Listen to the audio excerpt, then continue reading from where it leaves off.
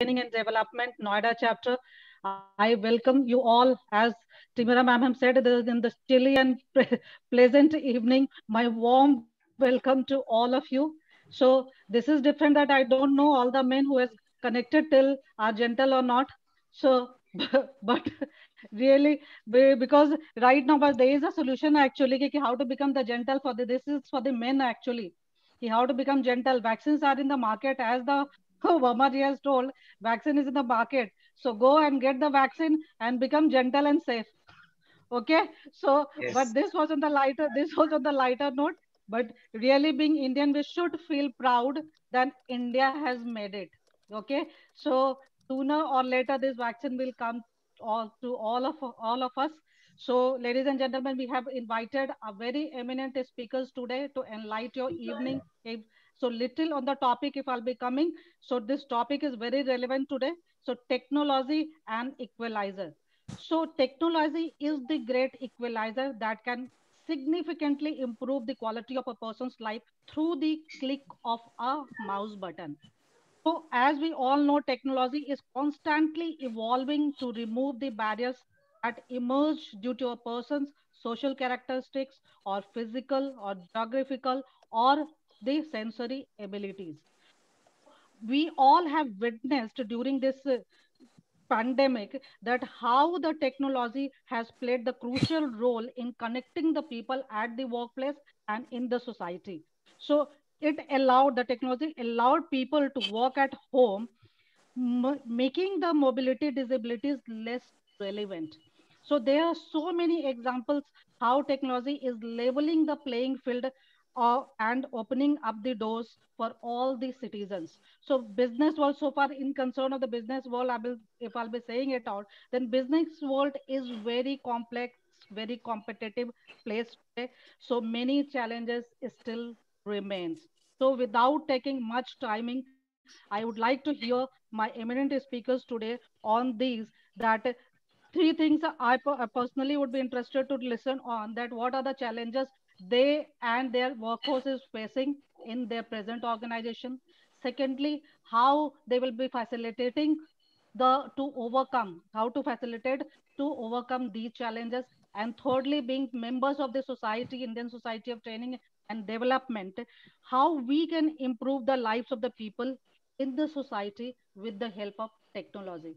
So ladies and gentlemen, thank you so much. Whomsoever has joined till is Rajmani, Ankita, Nitisha, Parag, Prakash Benanjito is the one of the speaker, Rupesh, and then Swapna, and then Yamini is also the speaker. So I'm thank you so much, all of you. In fact, actually, and now I'm handing over the mic to the Vanna to go ahead from here quickly, that we will not be wasting the time and we'll be listening our eminent speakers today. So thank you once again, all of you whomsoever got connected as yet.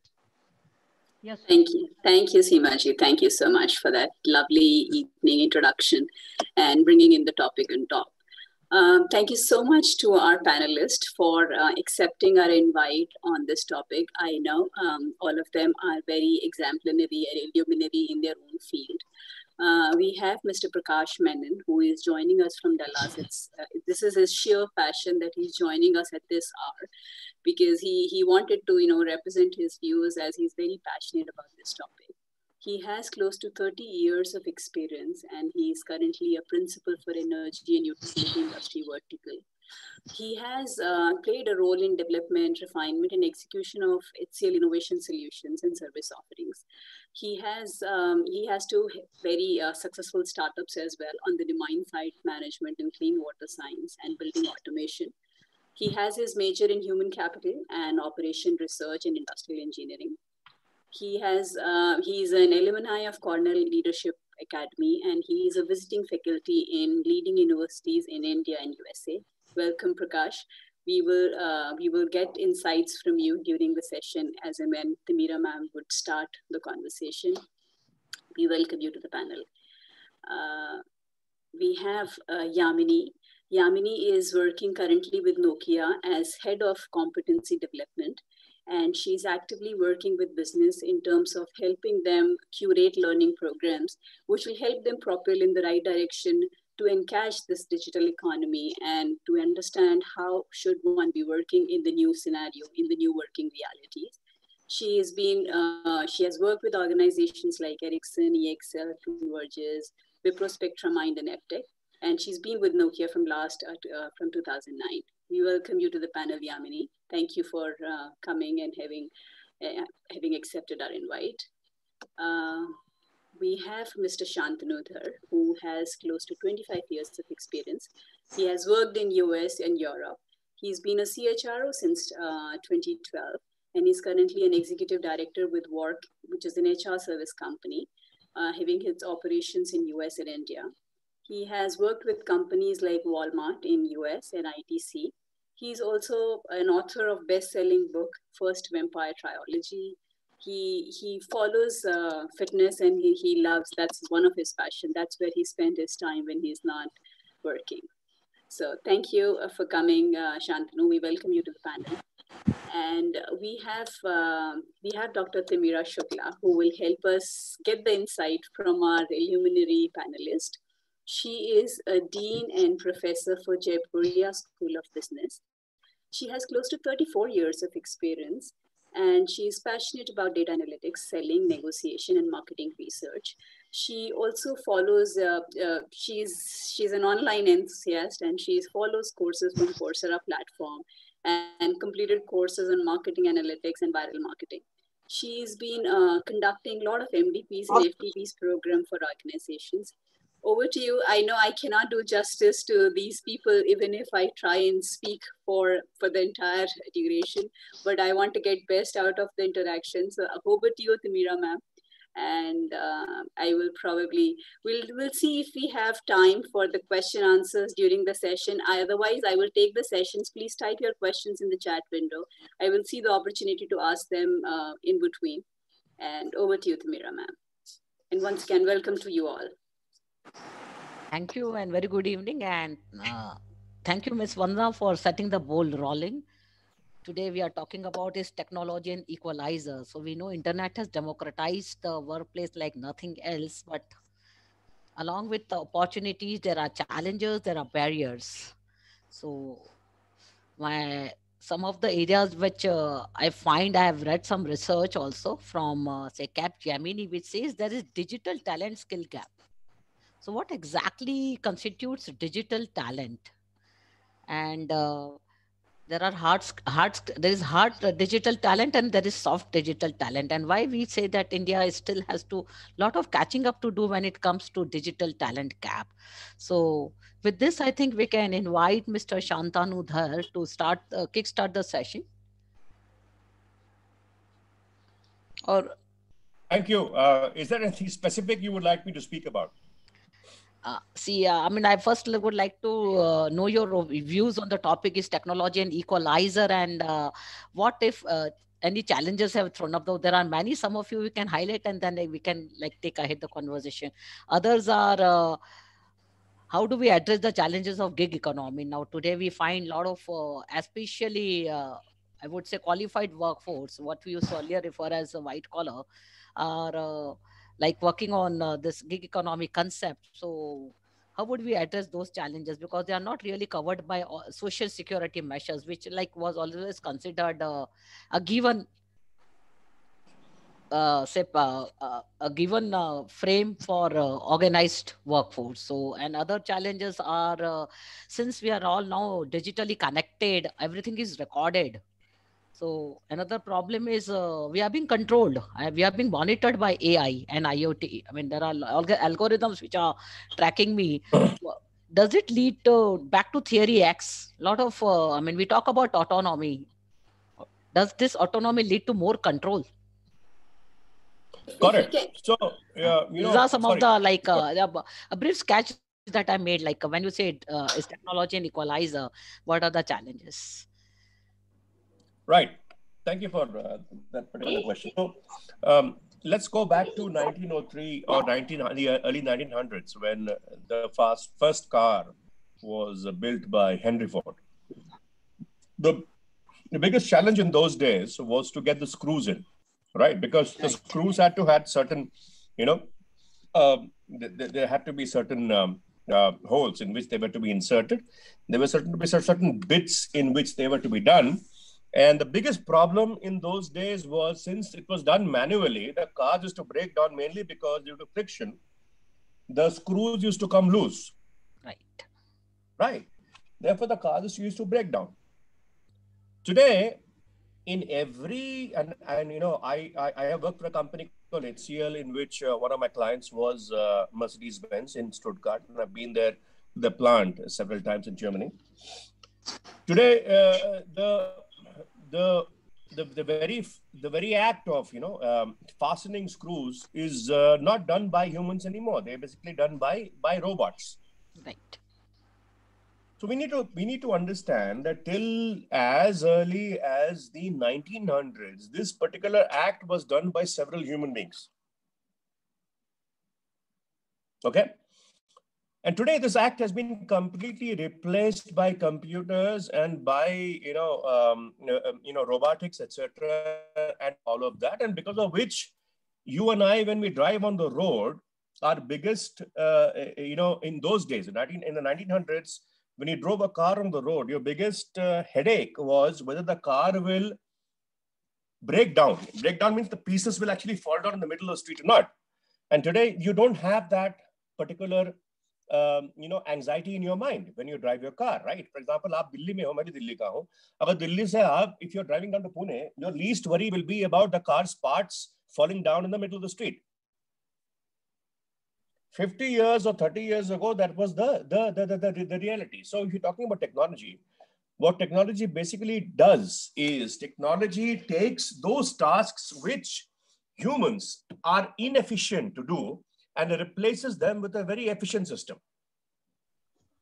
Now, the point is, do we look at those tasks as, you know, uh, repetitive tasks which give no joy to human beings? And we continue doing that because it gives us certain amount of uh, livelihood, etc. Or do we look at those tasks being replaced by, uh, you know, what we call today as artificial intelligence? AI is nothing new. AI is nothing but what software was in the 2000s. Okay.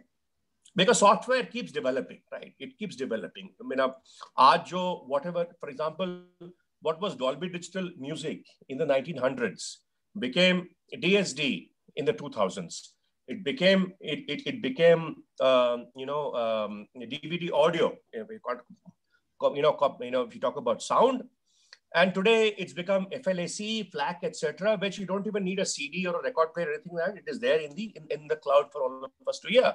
Just which is the lossless sound. Because the point is that the main what am I saying all of this, these, these, these things is because technology essentially replaces what is already obsolete. But it does not replace your or my job we human beings, the kind of brains that we have, we were, we, you know, these brains essentially have, you know, they are, they are geared for us to doing something far more than what we have been doing for actually centuries. So we should be very happy that today we are living in a day and age where technology and software is able to decipher and take into motion those repetitive movements which we were doing for the years and replace them so that we can start doing things with a far more intellectual, which, which can actually make a far more difference to this world, to this earth, perhaps this particular space, and perhaps humanity also ever. So that's my point about technology. Thank you, yeah. Mr. Shantanu. But uh, now, like, you can uh, share your views is technology and really an equalizer and how it will change the future of uh, workplace and workforce? So, see, okay. technology has never been an equalizer, uh, ma'am. Technology is is uh, to, to me, and I respect what you're saying. It has never been an been an a, a, a equalizer. Technology basically replaces what you and I do on a day-to-day basis. Sorry to right. आज अगर घर में जैसे कि routine task you mean to say. All routine and repetitive tasks are taken care of uh, by robots Correct. and AI tools. जैसे कि आज मैं या आज आज संडे है तो संडे को मैं नॉर्मली खाना पकाता हूँ to give my wife a break. तो मैं सुबह से सबसे ज़्यादा मैंने क्या काम किया? मैंने प्याज काटा है। और मैंने टमाटर काटी है राइट ये प्याज काटने में और टमाटर काटने में मेरी करीबन एक घंटा चली गई। Now imagine if there was a technology which would spare me from, uh, you know, this activity, that would free me up to think of better recipes for my own own own family. Sorry Right, to interrupt, so- Timira ji. Thank you. Uh, uh, yes, Timira can we? ji, Could you listen uh, what Pra- yeah, yeah. Prakash Yeah. has raised hand. He Yeah, wants Mr. Prakash. Menon, I would definitely is, uh, Yeah. Like to invite his opinion. Is technology an equalizer and what implications does it holds for workforce of tomorrow? And how it will change the paradigm of what is what we usually refer to as workplace. Sure. Absolutely, yes. Thank you. Um, good evening to you all. I totally agree with what Shantanu, um, you know, explained. Uh, technology is very relevant to everybody's life. Um, I, I'm sure many of you are following what's happening in Australia. You know, we do call internet as something that is democratized. Uh, we now need a regulation to control the capabilities of uh, businesses that can actually capitalize off that democratized service. Uh, well, that said, um, it's very human that uh, anything that is new has, you know, a pushback or the the uh, rejection from the larger groups of people. Uh, so it's not easy for technology to be introduced into the way of life unless it takes the hassle away, like what Shantanu mentioned, as if he has to cut onions and tomatoes. And if there's a technology that will take that hassle away, obviously it makes technology relevant to you and me and every one of us. So that's the most important thing. Um, adoption of technology is truly in the hands of the people. It's not the technology that makes everything change. So having that digital talent, which is your topic for today, is the most relevant thing that we all need to understand. None of us became experts in WhatsApp. None of us went to a school to learn about Skype or Twitter or anything. We adopted, we adapted to those uh, because it was the need of the hour. Similarly, internet was not taught to us how to go log into internet, and it changes on a daily basis, and we catch up. There are 80 year old, my mom is 80, she's in India. She is a WhatsApp and a Twitter, and a, she has her own handle, and she is very technology savvy. She didn't go to school, or was she trained? She was not. So adoption is natural, and the way technology is being introduced enables people enable people to adapt much easier because it takes your hassle away of doing your mundane job, like what Shantanu mentioned. It's the, it's the routine, it's the time that we spend. It's very, very important, and people will adopt to it. Uh, that's my point of view. Um, while training, when you when we look at enterprise, when we look at how technology adoption happens in enterprise, that is the possible topic that we are, you know, trying to address. How does business enable technology? A very relevant topic in manufacturing or healthcare. You know, we are coming out of pandemic. We, you know, I'm of an age where we introduced computers to nurses. The biggest challenge was the hand-eye, hand and eye coordination, where people were not able to coordinate looking at the screen, trying to move the mouse is the most difficult thing. So these kind of things kind of get to the top of the you know echelon of learning, training, uh, research and development is to how to adopt, how to make technology easy for people to use in the enterprise. we as normal people, as citizens of the technology users, we adopt, we, we push back, we revolt, but we adopt because it becomes a necessity. But it's not the case in enterprise. So I, I'll stop here. Um, so if I can quickly ask, Prakash said this is Vandana. Uh, you helped us define what is digital talent and how people are agile in terms of, you know, accepting what, what are technological changes in the organization.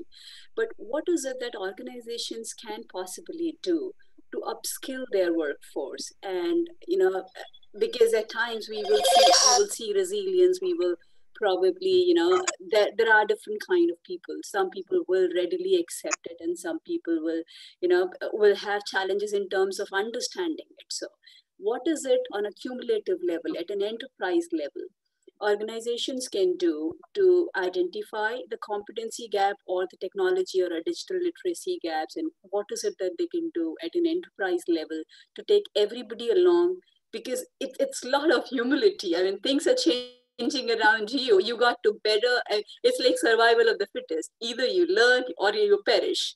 That's something which shouldn't happen. Organizations probably they need to do something which which they're able to do at a larger scale and take everybody along. So some recommendations there. Right. Uh, may i choose to answer that if no one else is?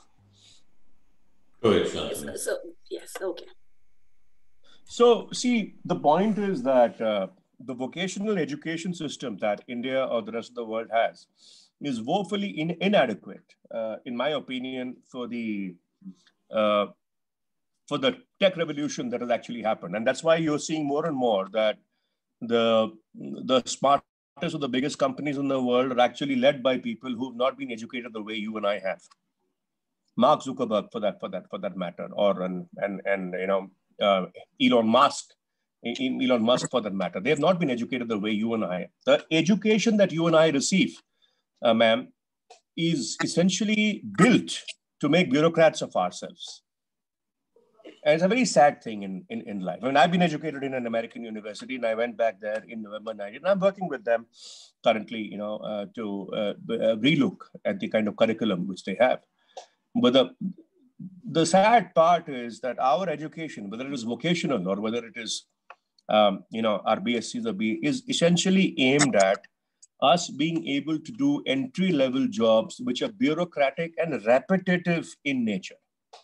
It does not at any way equip us to deal with the kind of transformation that this world is actually going through. So there's very little. I mean, when I was in HCL for eight years, I even uh, engaged in a program which uh, was about taking BSCs as entry level software programmers. It was next to impossible. They were just not ready.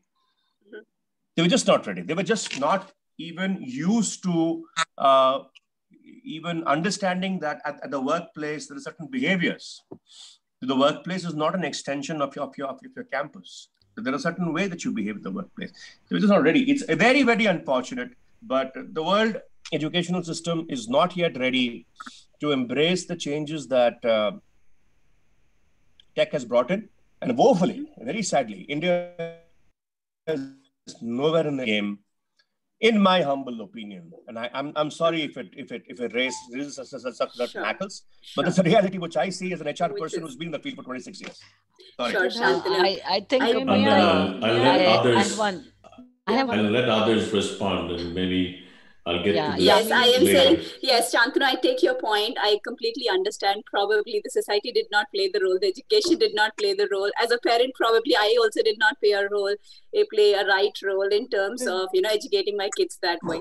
But let me hear Yamini and I'll come back because there are a couple of things which we probably need to now okay the parents did not uh, you know they, I mean, did not do the duty the, the, education system did not maybe the organizations now have to do their duty in terms of ensuring that they take everybody along before I hear your views. The question is, why should they? Organizations, ma'am, are in the business of making a profit. The question is, why should they? Let me hear from Yamini her views.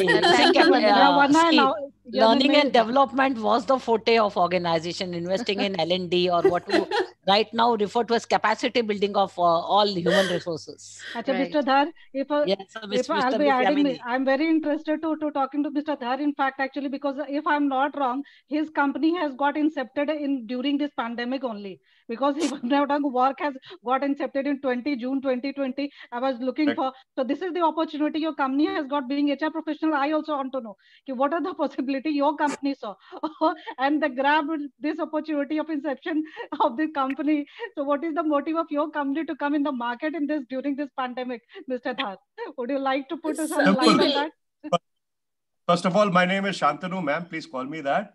Uh, okay. The motto of my company yeah. is very simple to make people ready. Okay. so you people are grabbing that opportunity in the market that India, India, yes. the education system is not good. Being, being parent, we no, I did say, I, I, did not say, ma'am, I did not yeah. say the education system is not good. Yeah. The education system that we or the rest of the world has created was essentially to create government servants. Let's understand that. Mm-hmm. Right. All the universities and colleges of the rest of the world I mean, the, the modern universities essentially began with the UK, right? Yeah. The UK, due to the Industrial Revolution, was the first country to invent the system of bureaucracy. Yeah. And the rest of the world simply followed. So the but entire education that the, that the, that the educational concept the UK gave the rest of the world was basically built to, mm, to once you graduate, you have a BA or a BSc or a BCom degree, you graduate to become a clerk. And what does a clerk need to know? A clerk needs to know basic math, clerk basic English, you know, basic accounting and basic things so that the clerk can do repetitive, repetitive work for the government. Because the government in the 1800s was the biggest employer. Right. How, I will, I will time out probably Shantanu yeah, sir. I'll time out. Let me let let's not digress. I yeah. we will have a separate discussion. discussion. Yeah. I want everybody back to the discussion. I really want to hear Yamini's view on that. And and yeah. you know, we will probably in the discussion we want to pick up three key trends and three key things which we probably sure. can take back to our organizations in terms of peer learning. I'm sorry for that, sir. I very valuable, but I uh, it's to the best use of everyone's time. No, I, I, I, Thank you, Vandana. So, yeah. So first of all, namaskar um, uh, from namaskar. from me.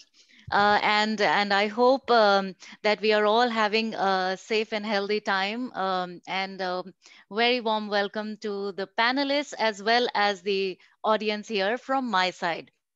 So uh, here, I think uh, we have a very interesting topic uh, on digital talent and how uh, do we address uh, any gaps that we might have here, especially on the um, talent enablement uh, standpoint.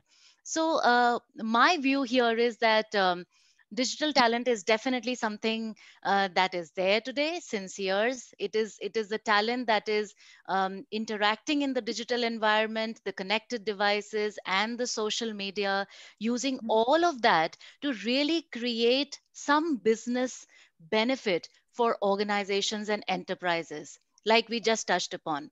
Now, um, there has been a lot of study on this uh, digital talent and um, uh, the organizations like boston consulting group and even gartner.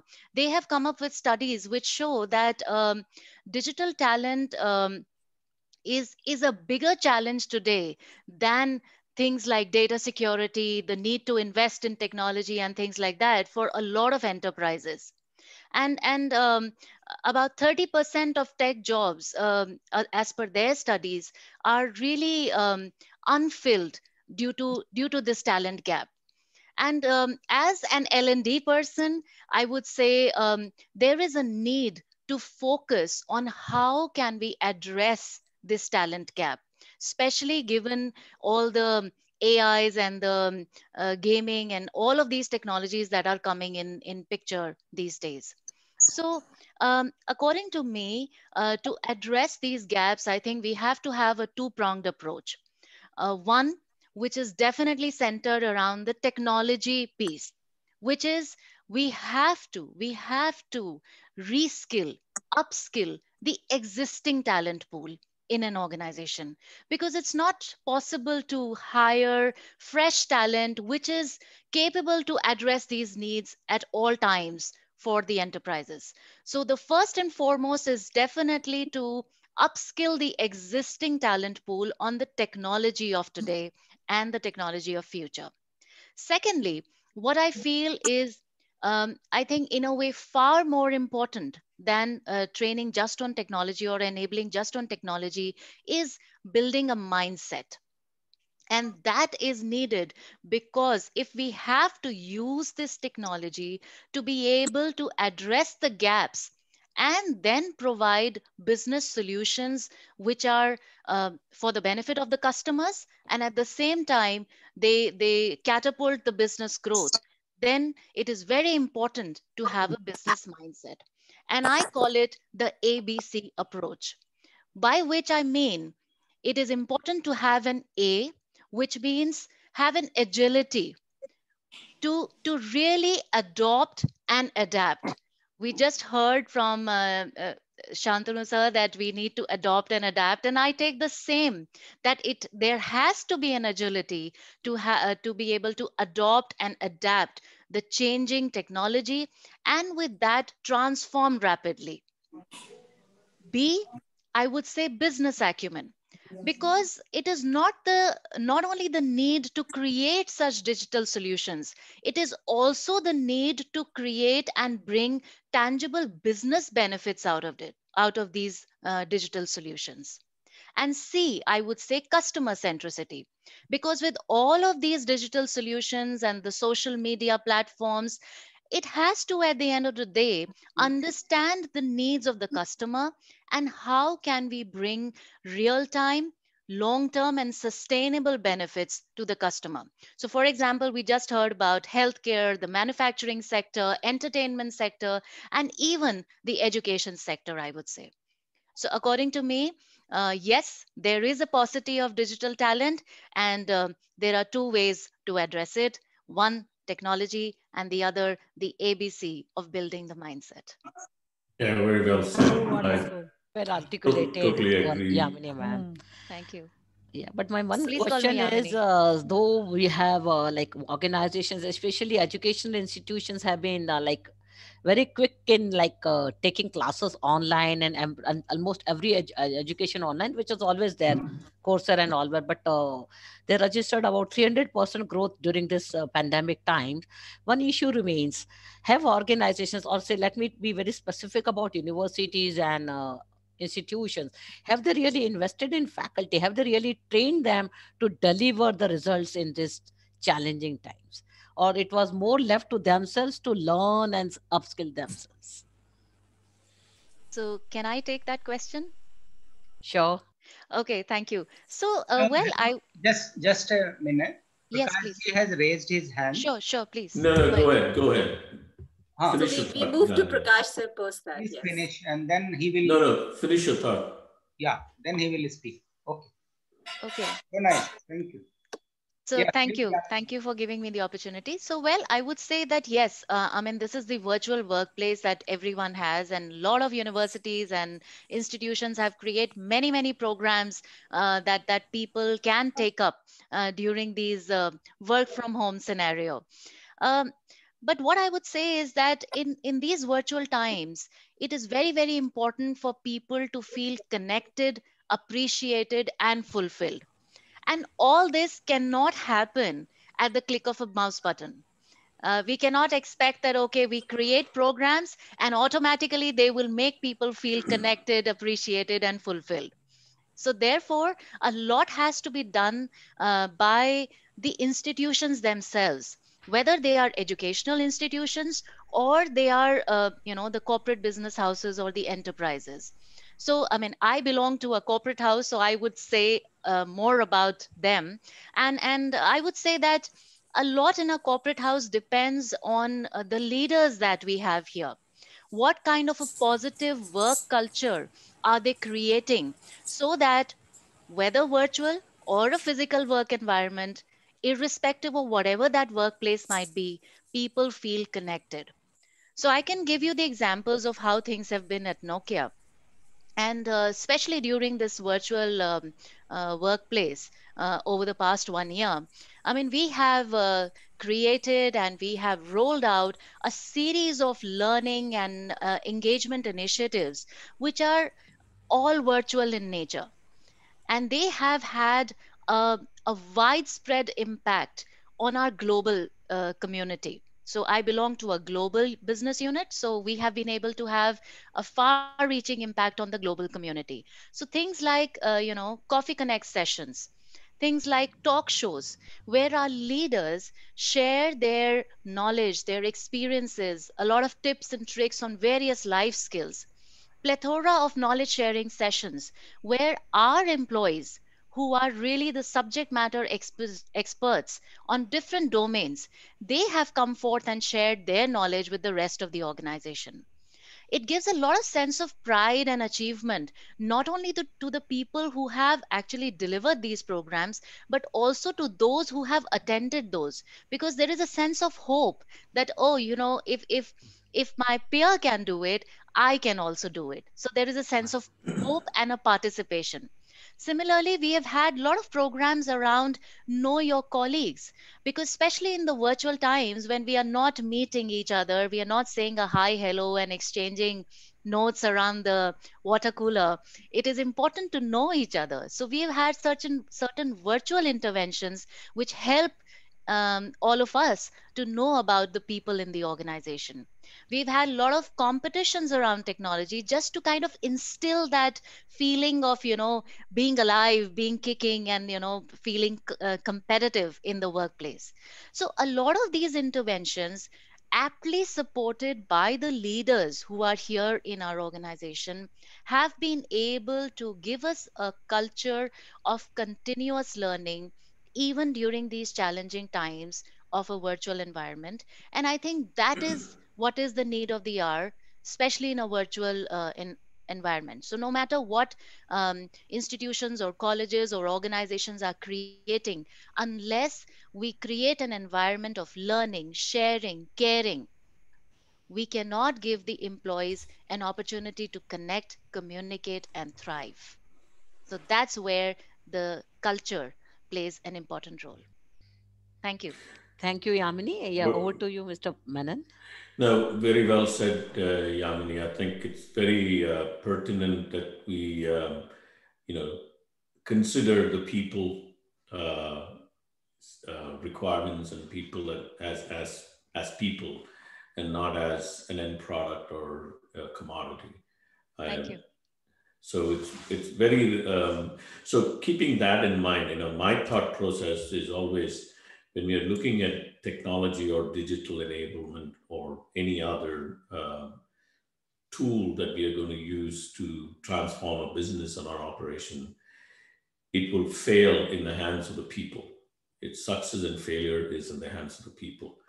So there's three simple things that uh, if you can, if we as trainers or people who are introducing technology to the rest of the world consider people first, right? Put the people first, whether it is your employees or it's your it's our customers or anybody who's consuming the technology. When it comes to making sure that this technology is being adopted or adapted, you need to make sure the soft skills. I totally agree with Shantanu university education is a mandatory basic quality building criteria, um, but it's the soft skill, the ability to adapt, ability to understand, assimilate, and reproduce, right? Whether it, you're a programmer or whether you're a customer service person or whether you're a CEO of a company you, you don't learn that from the university education. The university education is a basis uh, for you to build yourself to become a better person. Those soft skills are, as Yamini and everybody else in this conversation we're talking about, is built around us through the social, you know, awareness of one another, right? the most important thing in the last is any of these has to be driven from the top. None of us individuals do not have an impact on the technology adoption. It has to come from the top. Either it has to be from the top of a company or a corporation, or it has to come from the top of a government or you know agencies that run the economy.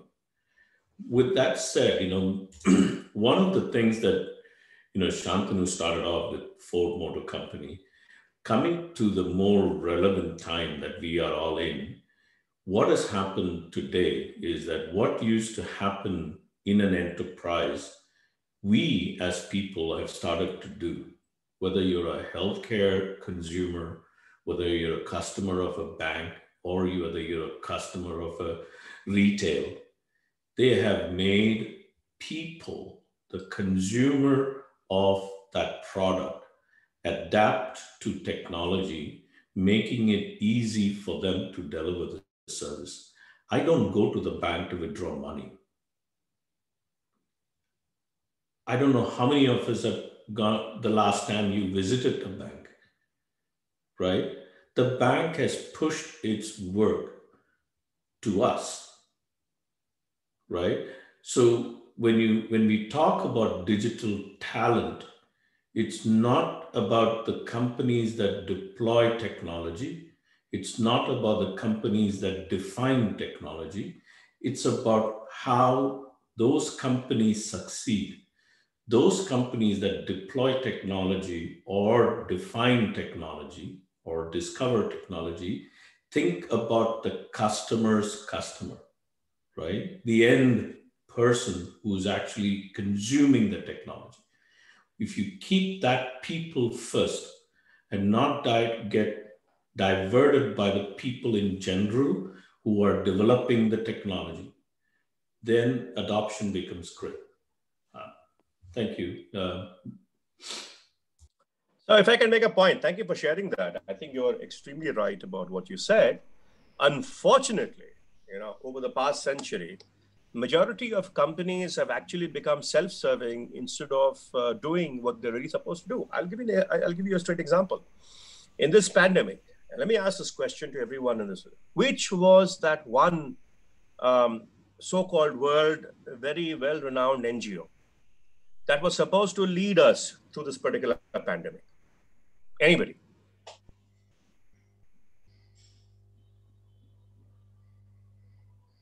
This was, let me give you an example. This was an organization created by different nations. WHO. Essentially, you know, build the future of health for this organization. Which was that organization? It was WHO. WHO. WHO, yes. Yes. What has been their impact in this pandemic on you, me, or anyone else? Very true. They play a very fishy role. Zero. So the point I'm trying to make is that most, very often, large organizations, as they grow and grow and grow, become more self-serving rather than fulfill their obligation to what they were supposed to do. Exactly. And Right? the- WHO has been the biggest No, failure, the most spectacular failure ever. They If not failed only, they Sorry. misleaded actually. They, they misleaded Sorry. to the country. Absolutely. I think let's not they get to a misled, they gave wrong here. information, they had no research, they floundered, they had, until date, they have given us nothing. Because the WHO, like the United Nations, have become organizations that become self-serving because of the bureaucracy which they have. I think somebody has raised their hand. Please speak. I'm sorry. You know, I. I think let's stay to the point. Uh, let's stay on the course. Let's. I am staying on the, on the, on the course. Uh, no, the Shantanu, I'm, s- I'm saying I'm completely agree with you, Shantanu. Uh, The, at the end of the discussion, we want to have quick two, two, two, three things Yeah, which so we pick allow, from if each you other. can Yes, give me a second. yeah. sure. Yeah. digitization comes into the fact when they lead companies to the real course of what they are supposed to actually achieve. And that's my whole point because the learning and mm-hmm. development that digitization brings to bring in is to focus every person in the organization to fulfill what that organization was actually built to do, which is serve the public. Every organization is built to essentially serve a particular need of the, of, of the public. Digitization, if the strategy is done correctly, will move you and force you to do what the company was essentially supposed to do. That's all I had to say. Thank you.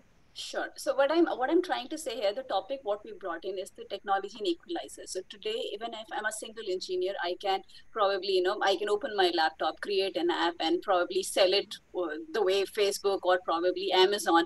So I'm saying even if I'm one individual, technology has given that power in my hand yeah. that I can open a company. So that's what we meant by equalizer, and we said workforce of tomorrow. So what we what we need is that what are what are the two things which organizations can do probably keeping technological changes in hand, considering what is it that they can do for their employees, and probably what are the recommendations you have, say, for people who are coming into workforce tomorrow so that they are future ready? What is it that the organizations are changing?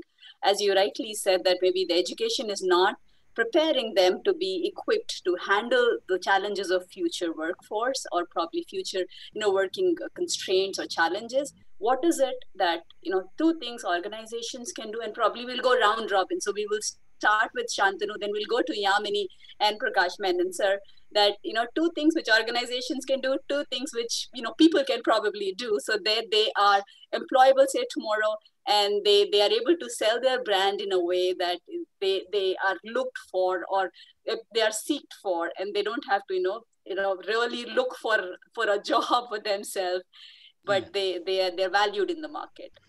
Yeah i would like to add it. What are those skills that uh, educational institutions should focus on so that uh, students are at least employable and there is those fresh talent will be required at least their skill gap is minimized. It cannot be reduced but some skills ISCDK uh, can also focus on all education institutions. Can uh, say one of them could be design thinking. Now, how do we actually embed that in the curriculum? There are so many such skill set which will make the workforce future ready. So over to you, the panelist. So um, if I may say something here, I think um, uh, and uh, customer centricity and business acumen. These are two points that I believe very strongly are, are things that should be uh, inbuilt into uh, different kinds of curricula um, wherever they might be. Because these are the ones which are going to help the talent force to really sustain whether the technology is changing today or tom- tomorrow. These are the skills which are going to help the talent to sustain in the workforce. So i would say business acumen and customer centricity and of course to top it up with agility. So that's why i said the abc so these are these are definitely needed uh, for for future workforce. Yes. Yes mr prakash menon. Yeah. Here's here's the thing. I'm, I'm going to go back again to uh, history you know. Winston churchill said you know we should never waste a good crisis uh, what did we learn from the pandemic is, is the opportunity to rethink. You know, I, I totally agree with um, Yamini's uh, statement that you know you need to understand your customer.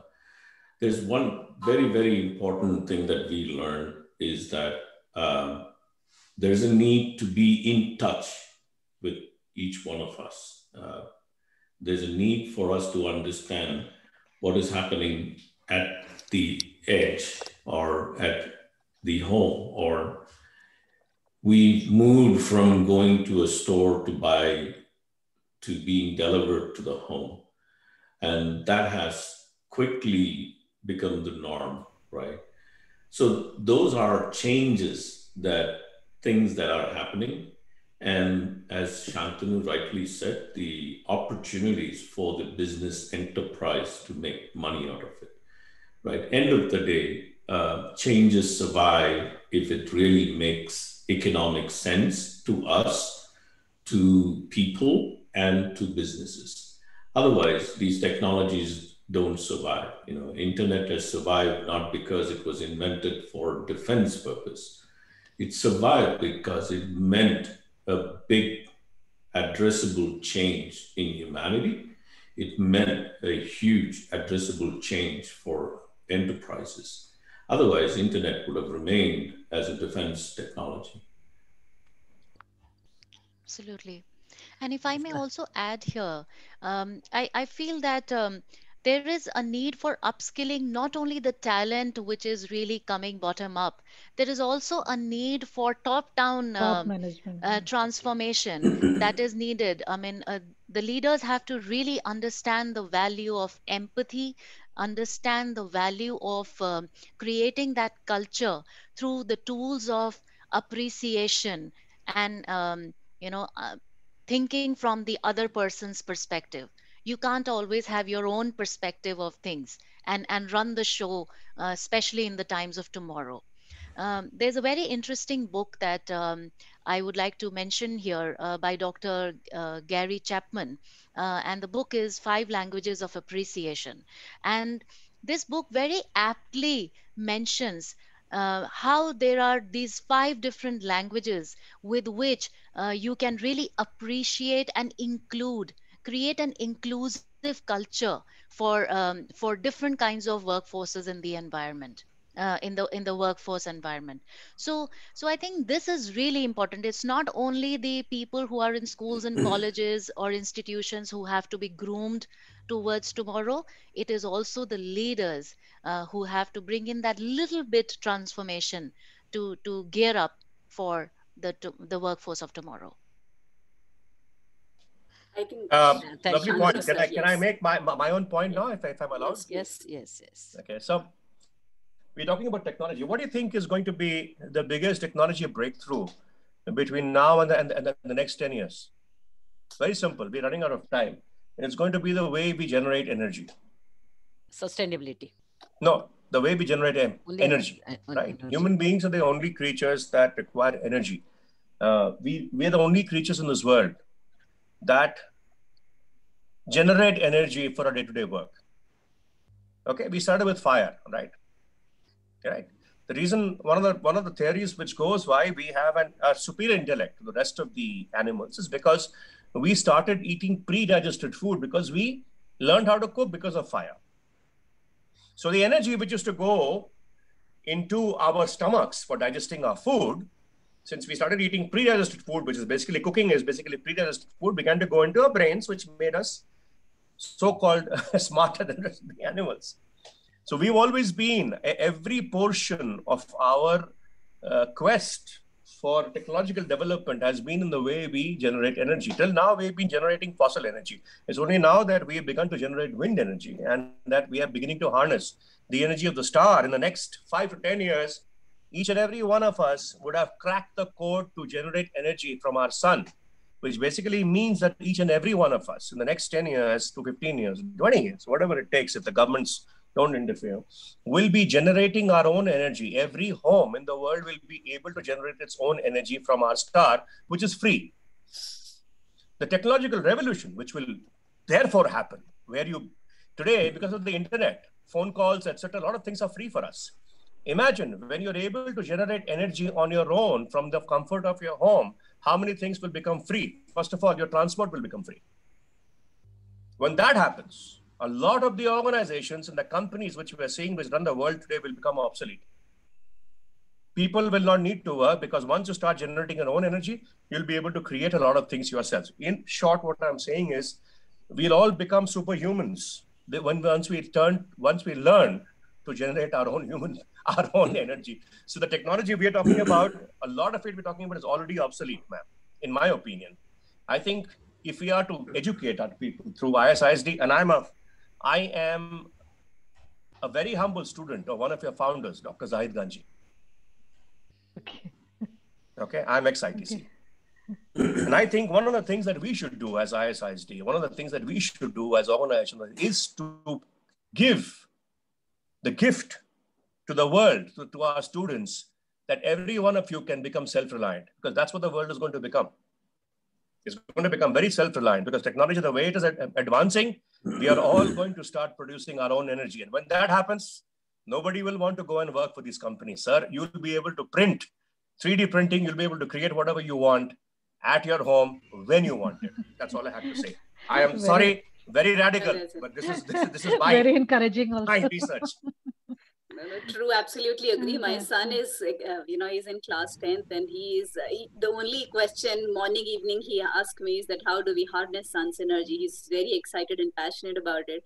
And he writes, you know, he writes copies, pages wherein he's doing multiple projects. He's trying to discover. And that's something when you, when you, when you said that, that clicked with me because kids are thinking very differently these days. Very differently, ma'am. They're thinking very differently. Very we are obsolete. I'm sorry. I am obsolete. And I think that's the way future. Yeah, it'll be very different. we are we are happy to sit back at home because we don't have to worry about our livings. like, uh, taking, taking a leaf yes. off that is, you know, obsolescence is a very um, an interesting topic. You know, we hear that at uh, every aspect of our life. You know, I think I'll, Shantanu is clearly taken my thought to a totally different direction, right? uh, see, we as human beings, you know, we were originally invented with the same anatomy, except that it was bent forward. Over a period of time, that anatomy has changed that it could just stand up. But what has happened to that human being, which could just reach out, pluck a fruit, eat, or throw a stone, kill something, and have its food, to what we are? We have gone through immense evolution, change, revolution, and thought processes. But we haven't changed anatomically. Maybe we've grown taller. We've oh, we haven't grown taller, my friend. I can give you evolutionary. Uh, we were seven feet five during Shivaji's time. Average Indian was seven feet plus. We actually grown shorter. Thank you. I learned something today. Yeah. Glad. Um, and you know, we have gained ability to reach beyond what our eyes can see to get to our food or get to do things. Energy is one of the many things that make human life relevant. So, just being sustainable from an energy point of view is one of the most positive things that is going to happen. But as we start evolving into the more advanced and digital ways, we, we are not going to be irrelevant. Eh, the technology adoption and various other things will remain the same. There are still going to be people who think on the right extreme, the left extreme, and the middle. And life is going to continue. And debates like this are what makes you know life more interesting and more relevant. I agree yeah so, i see a future when we when we when we you know uh, we are able to harness the energy of this universe when we may not even exist in the perf- in the current biological form form that we are today so over the last 20 years you know coming back my passionate area is energy and you know i've uh, done business and successfully in the area of demand side management on the energy side renewable energy has changed the way people live. There, there are businesses that are offering electric services to customers at zero value. Zero. I don't pay. You know, I, I used to live in California. I used to pay a dollar, 20 cents for electricity, which I used to pay $400 per month. Right. So it, it got to that point where as Shantanu says, energy is important for me, but it became irrelevant. It was a matter of fact. I was generating by myself. Did I grow a horn or did I grow a tail or did I, you know, become more powerful? Not at all.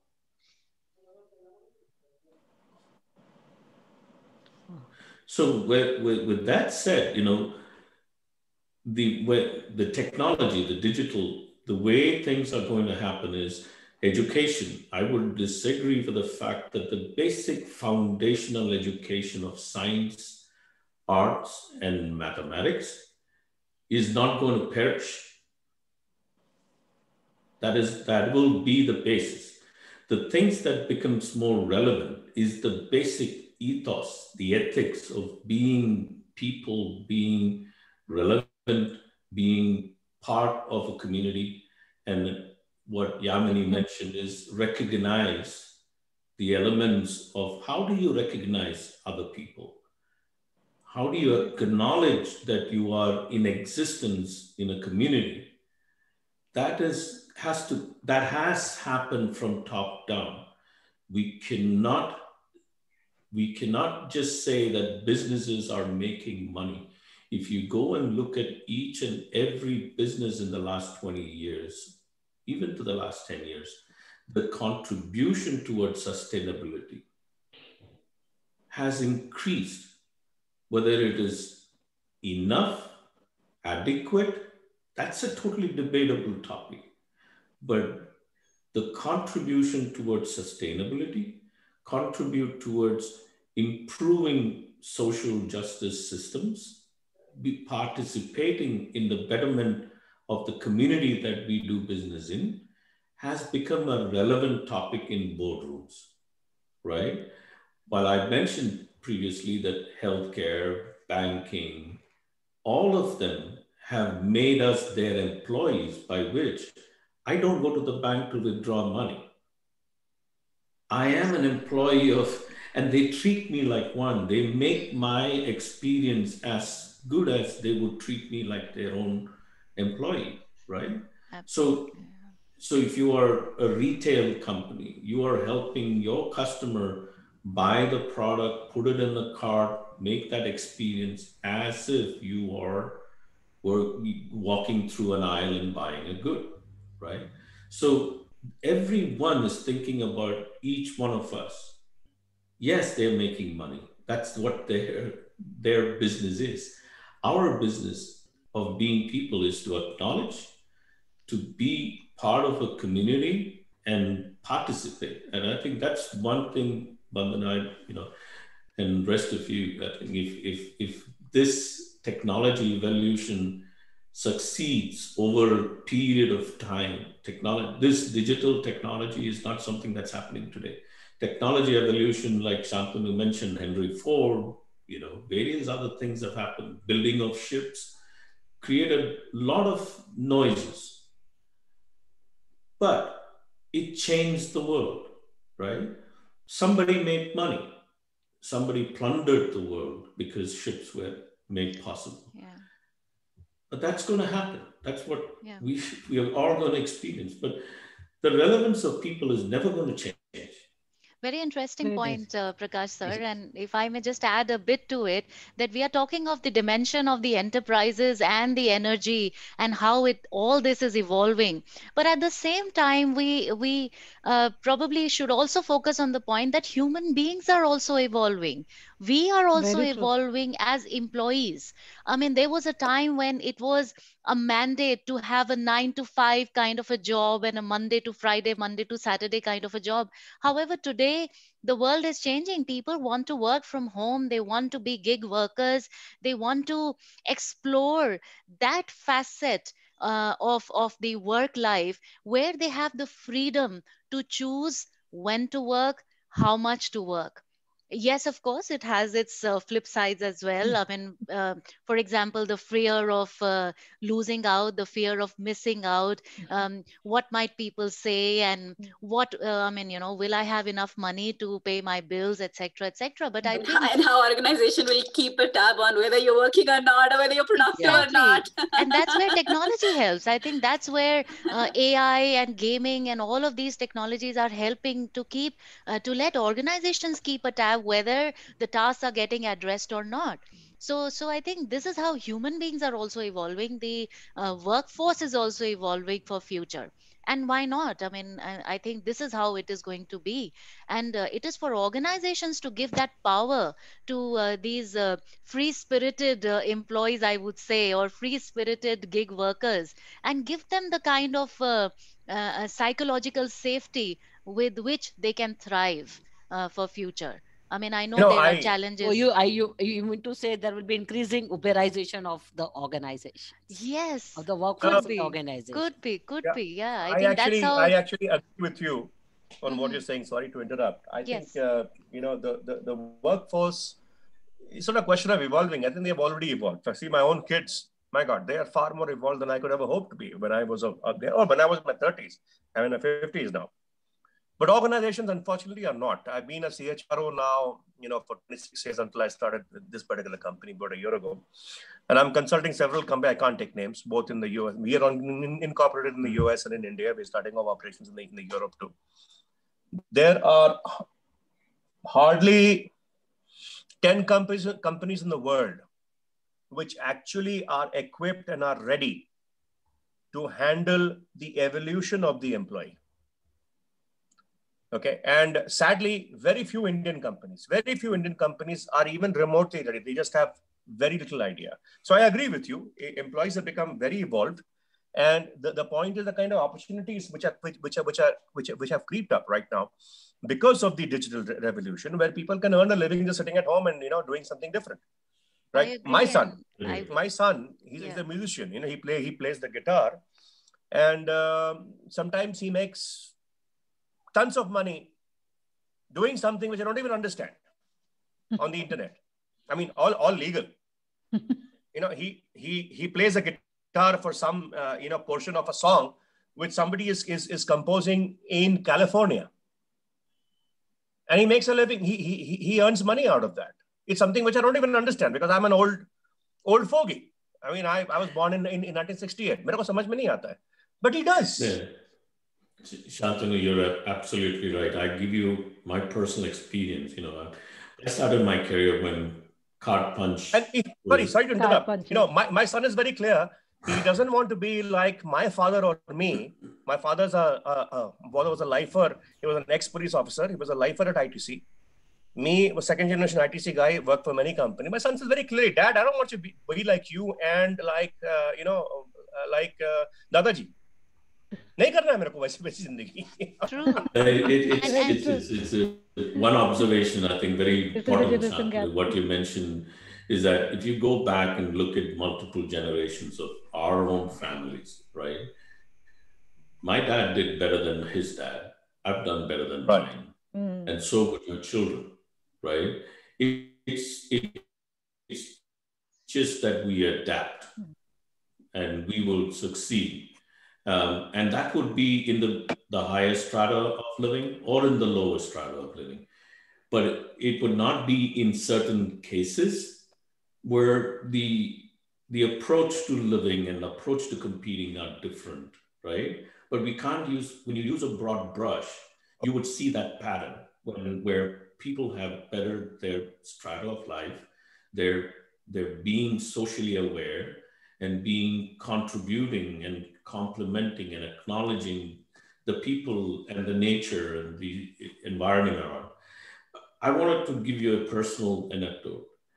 Um, I started my career many, many, many years ago as, you know, when, when card punch and paper tapes were computers. Um, and I don't want to get there. But when I, I did a, a startup, and, and that was to solve a problem for a bunch of businesses. And that was an opportunity. I could have sat at home, hired 50 people or five people, started it off. But the way we did that was we had entrepreneurial, technical people from Ireland, from Russia, from Slovakia, from China, from India. Yeah. They participated, and we all, in the end of the day, got acquired by a multi billion dollar company. I did not think about my idea, my opportunity, right? That's how life is going. That's what. That's how success would be defined in the next, you know, in the very, very many years to come.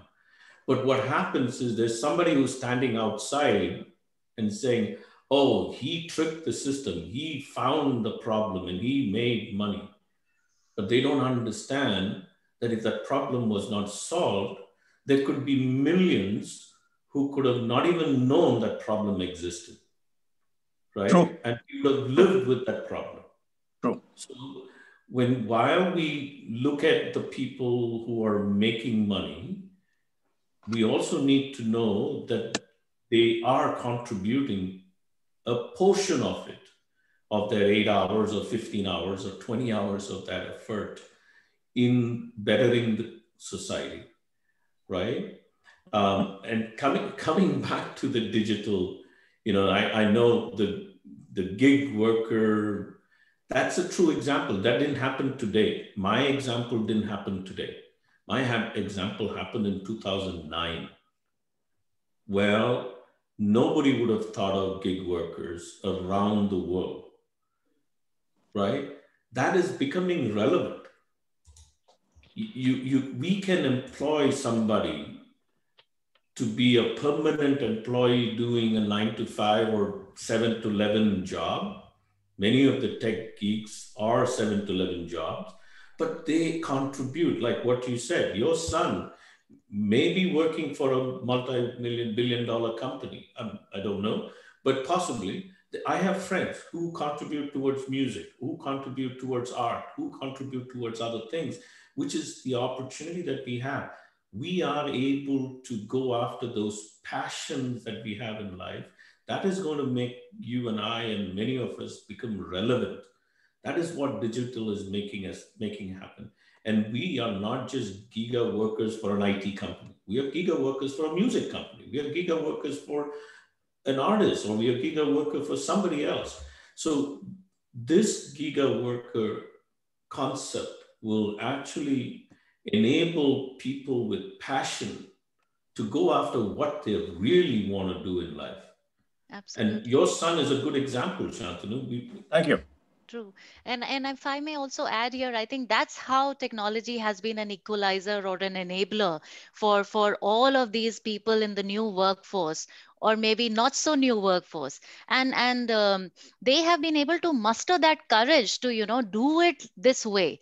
And probably they are leading much richer lives than many of their co- uh, corporate counterparts.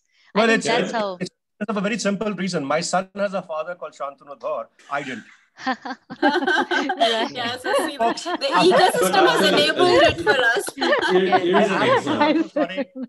But uh, I want to. And ladies, yeah, I think yeah, we have we have overshot time actually. So I think one point is uh, one Shantanu, point that we have not you. addressed it in India. We have a lot of digital have-nots given uh, that in urban India we have a uh, very good penetration of internet. I, am sorry, please forgive me. I, I need to yeah. go. Yeah, you have time. Yes. Thank you thank so you much, uh, Mr. Shantanu, thank you. for uh, your comment. Thank you, thank you, Mr. And giving us valuable insights. Mm. We've then, overshot time. We are already at okay. six twenty-two. I uh, think uh, we, have, yes, we can take we can take one question if we if, we, if we really have a pressing question from an audience, then we can take one yeah. question uh, probably.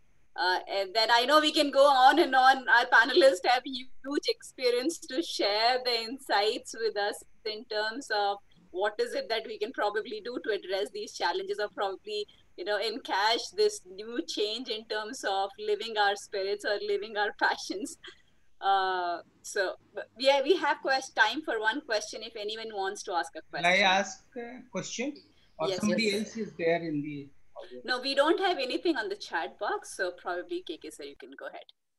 If I am uh, given permission to ask, I will ask a question to panelists. I think what Yamini said earlier, changing attitude is more important than technology.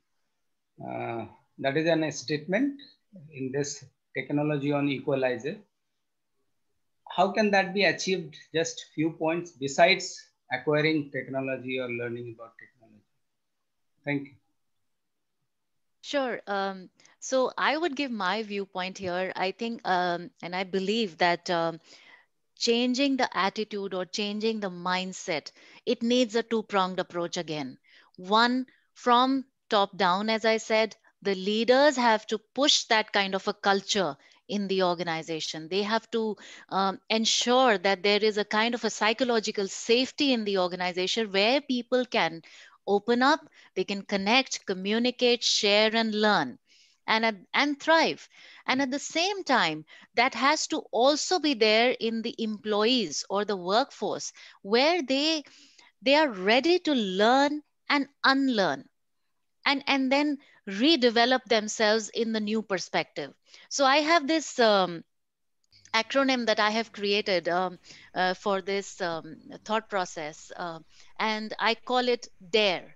So everyone has to dare, by which I mean that uh, the D stands for discover your talent, discover your skills. A stands for act on your skills and talent, develop them, groom them, and use them. The R stands for rediscover your skills and talent. And then finally, the E stands for elevate your life and your career. So if we can ourselves dare us to learn, unlearn, discover, and rediscover, I think that is a sure shot way to really change our mindset or change our attitudes towards the changing world. Thank you. Yeah, uh, excellent point. I like the, the dare. It has multiple meanings. It's a Thank beautiful, you. Thank you. uh, Beautiful phrase. acronym, Um, really. here's just one. I'll, I'll just give you one more sentence. Uh, when we all get away from the fear of shame, of failing, that is when transformation happens in every one of us. It- uh, you know, every innovator has Very succeeded. Uh, every person Mm. has succeeded uh, in learning new things or unlearning new things. You know, we fear not to unlearn something because, oh my God, what will I happen? Will I lose my job? Or would I become an Yeah, irrelevant? Right. That fear needs to go away. And and dare is kind of the underlying concept. Absolutely. Yeah, I totally agree. agree. Today Right. so failure is no, no longer a negative work and failing fast is what encourages Dr. Timira ji, your speech is cutting. right attitude change mindset as Yamini has put in terms of how will we be sustainable and what exactly we're looking for and how do we bring our vulnerabilities. And we are okay to fail and we and that's how we we embrace technology and change because we were always digital. It's it's just the head. Now it is more stark staring back in our eyes and we have to accept it. It's more prominent. Everybody's talking about it.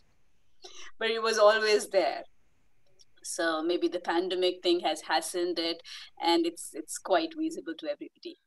Uh, thanks to each one of you for joining the session. Thank you uh, seema ma'am for starting the session and helping us understand the istd noida chapter.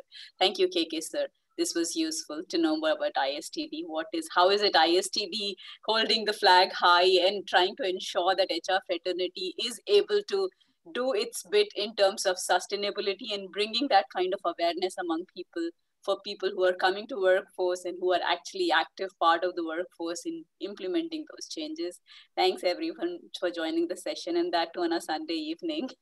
So uh, with this i think we will we will close the session. Thank you so much timira ma'am for those insightful comments and helping us moderate and understand yeah. and, and get the you know snippets and crux of the views from their experience with Thank this uh, thank with, you everyone. I think uh, yes hr is going to play a very very pivotal role in bringing about a digital transformation.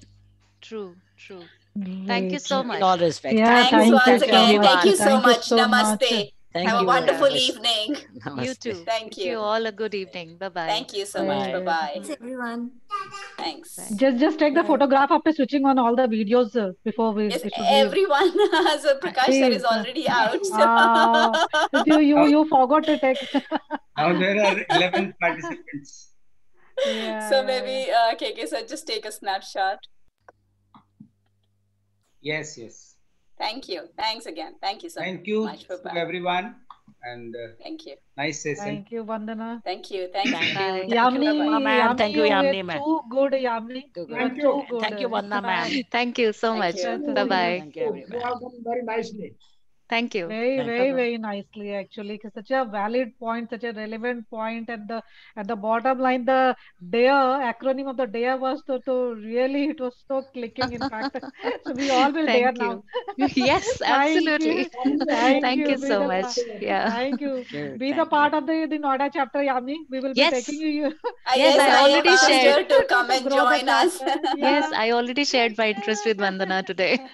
I will be. lot. Thank you. Yes. Thank you. Thank you Okay, so much. Thank you. Thank you. Thanks. Thanks. Bye-bye. Bye-bye. Bye bye. Bye. Thank you very much. Bye bye. Bye.